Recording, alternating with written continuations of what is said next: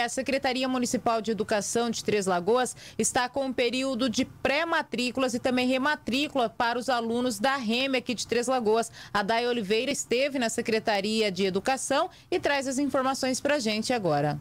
São dois processos: rematrículas, ou seja, a efetivação dos estudantes já matriculados na rede municipal de ensino, e a pré-matrícula, o processo para novos alunos. E para cada um, o procedimento é diferente. O processo de rematrícula ou seja, daqui dos estudantes que já que fazem parte da nossa rede em 2021, é na própria unidade onde, onde o estudante está matriculado, certo? Esse o período é, é agora, né? Que é de 1 de dezembro a 21 de dezembro. Então as famílias estão sendo avisadas, tanto pela Secretaria de Educação quanto pelas escolas, né? Por WhatsApp.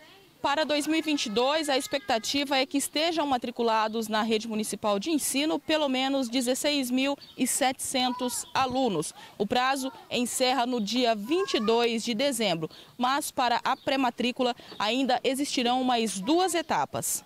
A pré-matrícula para novos alunos terá a segunda etapa do dia 4 a 28 de janeiro e a terceira etapa a partir do dia 1 de janeiro.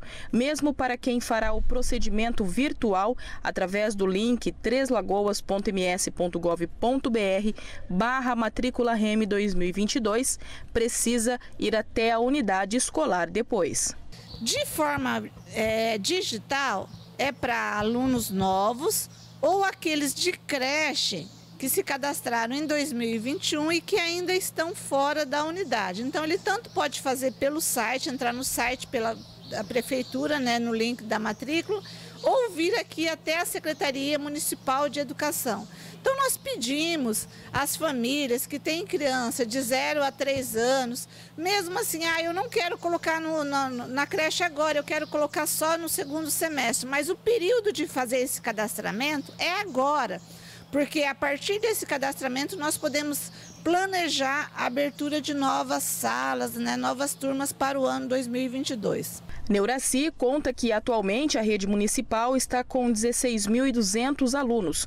O número representa uma queda de 500 alunos matriculados com o retorno das aulas presenciais após o pico da pandemia da Covid-19. Muitos são aqueles que ainda não estão, no, no ensino ainda não é obrigatório, que é de creche de 0 a 3 anos. Mas nós temos algumas crianças de 4, 5 anos, ou até do primeiro é, ao quinto ano do ensino fundamental que os pais ficaram preocupados. Então a gente é, faz um chamamento a essas famílias que as nossas escolas elas estão preparadas com as, todas as normas de biossegurança para receber essas crianças. Então o lugar de criança é na escola.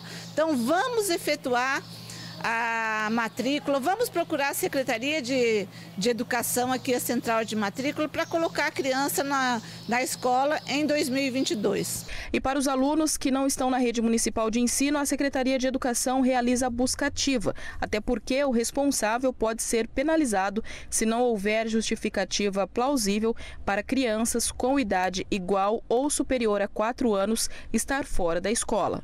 Então, nós sempre estamos em contato com a Secretaria de Promoção Social, Conselho Tutelar, e a gente verificando que tem alguma criança fora da escola, nós vamos buscar, entendeu? E isso a gente vai fazer mais acirramente a partir do próximo ano.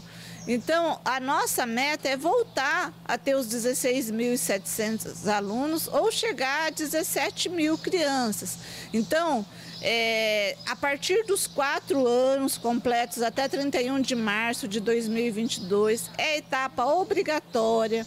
As famílias podem ser responsabilizadas por isso, caso a criança fique para fora da escola. Então, vamos procurar, sabe? As nossas escolas estão atrativas, estão com toda a segurança